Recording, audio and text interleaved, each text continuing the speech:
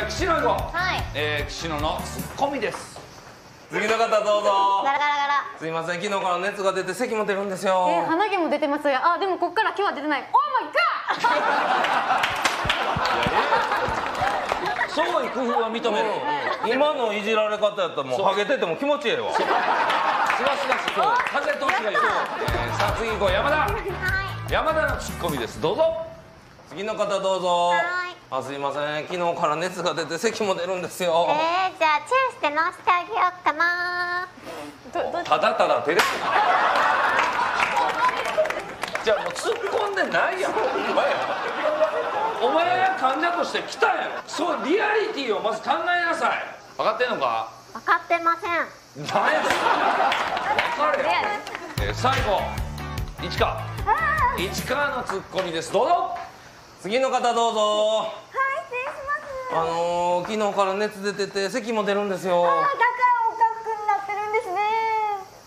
突っ込めよ。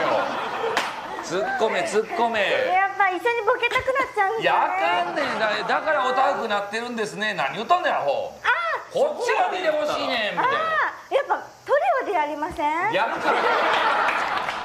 最後ミルキー行こう。ミルキーのツッコミなんです。どうぞ次の方どうぞ。こんにちは。あすいません。昨日から熱が出て咳も出るんですよ。ほんまや大丈夫？早く病院行きましょうって私が見に来てもらいに来たんですよ。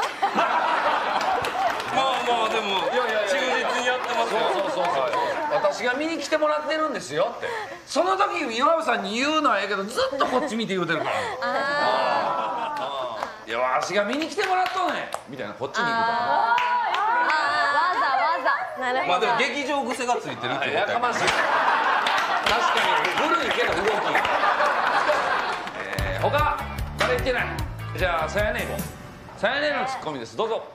次の方どうぞ。お願いしす。いまますせん。昨日から熱が出て咳も出るんですほんよまかいなどれどれってギットギットやないか。すぐ取り入れた。入れたよお前この右足は5年かかると言われてるこれなかなかできへんと思うこれこれはあの力つけてきてる。